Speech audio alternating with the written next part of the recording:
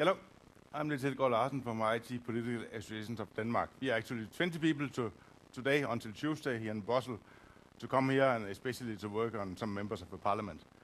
I'm going to talk about Polippix, the privacy CD, which, yeah, I have one here too. Uh, and my purpose, of course, here is to make you all really interested, so you all come and, and join us or help us. You can help us make Polippix, or it's just as good if you just want to work on the technologies I'm talking about. I'm going to do that by appealing to technical challenges, your love for open source, and your responsibilities as human beings. Um, we all know the political background on September 15, 2007 in Denmark, where actually started all this data retention and logging. I know other places in Europe you're late, but Denmark is kind of a test bed, so we have some experiences already. You know how it goes, we log uh, phones, every TCP connection, or every 500 packets on huge tapes in the basements of uh, internet providers, phone companies, hotels, access point, net cafes, everything. So that's very, uh, a lot of logging is going on and we don't like it. And I don't have to explain that to you. Uh, another issue was the net filter. It started by what they call the child porn filter, blocking a lot of, of filters of uh, domains. And later the all MP3 case were trying to go after uh, music sites and now with Pirate Bay just a few weeks ago. And it's not like we uh, want to promote uh, illegal copying or illegal activities, but we do mind when we start messing with the internet. Uh, that's, the internet is a lot more important than, for example, uh, popular music, in our opinion. Uh, and we call it blogging in quotes because anyone in this room, of course, could avoid it just to use another DNS server. But it's a slippery slope, and, and one day uh, we might make something that is a lot harder to circumvent. Already have that in Britain. The infrastructure directive implementing all the bad things for the DMCA, so we are not allowed to uh, write programs that can uh, do our fair use copies and distribute them. And of course, this is not Denmark in Denmark, you know, we travel a lot, small country, and we go to the US, Syria, Cuba, a lot of countries where you might not be as sure about who's listening into you when you're sitting in your hotel room and sending emails. And it's not only just about the police, it's also about the whole thing going on, uh, who's logging you when you're at work, if you're at school, are they checking what you're doing and so on. So we decided to do something about it. And we think that as open source developers, we have a special responsibility because you know this thing has to be fixed, and we are the one who can fix it, especially the more technical issue of which I'll be talking about today. So we do it because it's fun, but we also do it because we feel we have to do it. So what you see here is uh, is actually a member of parliament holding the first copy of version of our Polippix in front of the parliament, that is the door of the parliament here. And that was uh, mailed out in 12,000 copies by PROSA, who is a, a, trade union in Denmark for IT professionals. And that is, uh, demonstrates one of our purposes. We want to have a lot of technical, interesting stuff on the CD, but we also want to get the attention of the politicians here. And once you get those two things, you do get the interest of the media and you do get the interest of uh, a bigger part of the population, uh, certainly a lot bigger part than open source free software developers. And that's what many people have been talking to us already about FOSDEM, you know, how do you actually promote this and get some interest about it, and that's what some of this talk will be happening uh, be about. So I will do it very on a very high level, very about the technical background because it is a, a distribution and of course there are thousands of packages and we have been messing with a lot of them, but that's details. The big picture is that we take a, a distribution. The first one we took was Knoppix and the one I have here is based on uh, Kubuntu and we, in future we might try something else like damn small Linux targeted as, a specialized device. When we have a, a on the polippix.org, you will find our SVN repository, and what is inside the SVN repositories is just a, a little of our own code, but most of it is just scripts that configures and installs and set up stuff. So, you know, you take a Kubuntu in, you run the make command from the make file from our uh, SVN, and you get an uh, ISO image that you can burn to a CD, and you have this. Uh, one of my projects that I think is particularly interesting is is doing the USB thing. Of course, we can put it on USB, and we have some scripts that is not working on this beta version yet. Uh, so you boot your, your Polippix uh, privacy CD, and you are anonymous on the net and all the nice things, and your friends see, oh, that's cool, and you come and put your USB stick into your, your computer, and, you know, using D-Bus, uh, it will say, oh, I see a USB stick.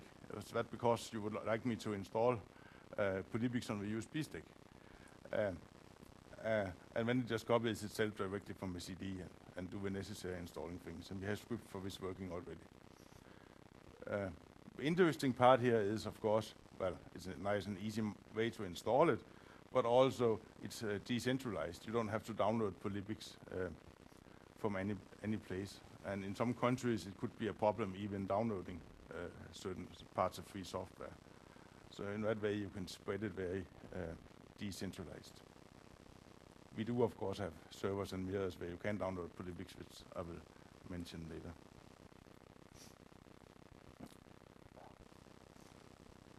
A little more technical details. That's the layout. That's standard um, for most live CDs.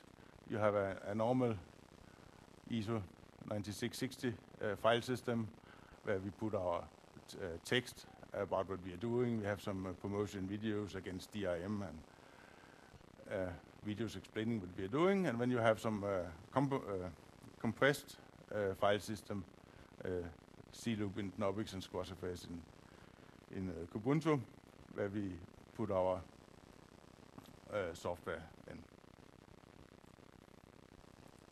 So I know you're all trying to know what exactly is on Polippix. And of course, what had the biggest effect so far is, uh, is we have uh, Tor on. How many in here know Tor? Uh, that's better for me, it's a little more than half of you. uh, well, Tor is onion routing, so uh, it's uh, just a way to be anonymous by routing through uh, a random number of other members of the Tor network, like an overlay network.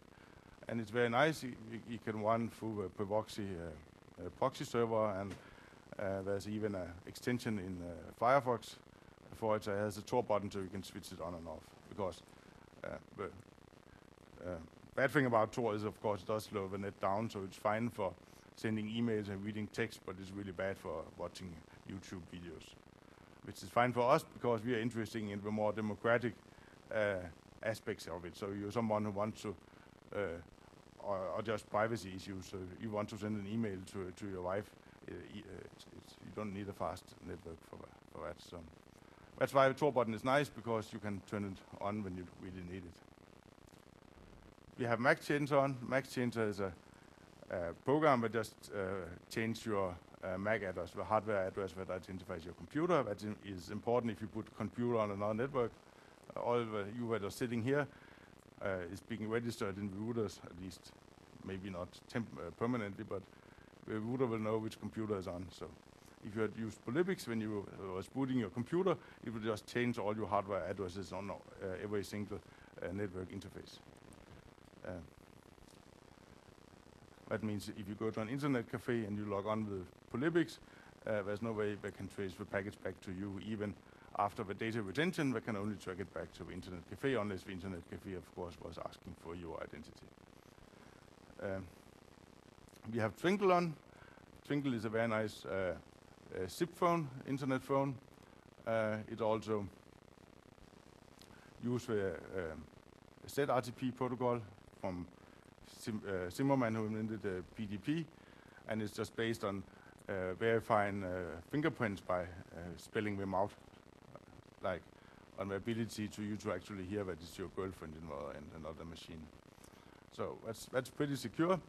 Uh, of course, they might still log it back to your computer, but if you use uh, Twinkle and you're sitting on a, a, a, web cafe and you're using MacChanger to, to come on it, they can't trace it back to you. So you have anonymity, uh, and you also have privacy. They can't listen in, and they can't track it back to you. And that's two different things that confuse a lot of people. But uh, and that's another thing we're doing in, in Polippix projects, try to educate journalists and others about uh, these issues.